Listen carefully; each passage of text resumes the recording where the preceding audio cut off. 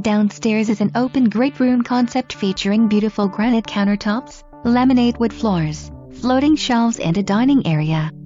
Upstairs has a very large master with a five-piece bath and walk-in closet along with three spacious bedrooms, a bathroom with double sinks and a laundry room.